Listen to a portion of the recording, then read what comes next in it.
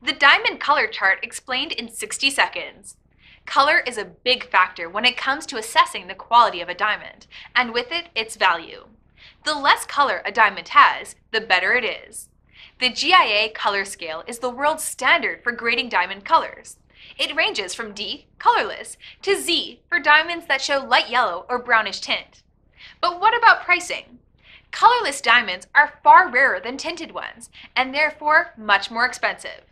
For example, a high-quality 1-carat D-color diamond costs around $7,000, and a similar diamond with H-color grading would cost $5,500. That's 20% less.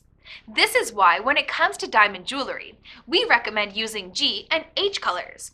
And honestly, I doubt anyone can tell the difference. Last small tip. To truly know which color you are buying, I recommend only buying diamonds with GIA certificates. For more information and buying tips, I invite you to read our full article. And if you have any questions, feel free to leave them in the comments below.